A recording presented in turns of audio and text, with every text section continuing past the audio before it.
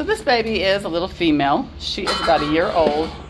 See if we can get her to back up just a little bit so I don't have just such a, just all face there. She's gorgeous. She's a gorgeous dog. She seems to have, she doesn't have a big body, but she definitely has some legs on her.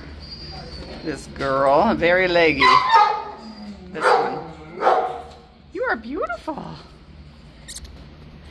Pretty Cleo is uh, located at Animal Care Services. Ears. Those ears are wonderful. She located Animal Care Services in San Antonio, Texas.